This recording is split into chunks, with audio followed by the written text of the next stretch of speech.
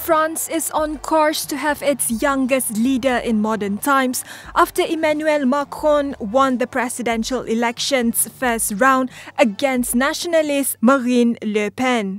As the 39 year old moves closer to the presidency, one little fun fact about him is making the news cycle.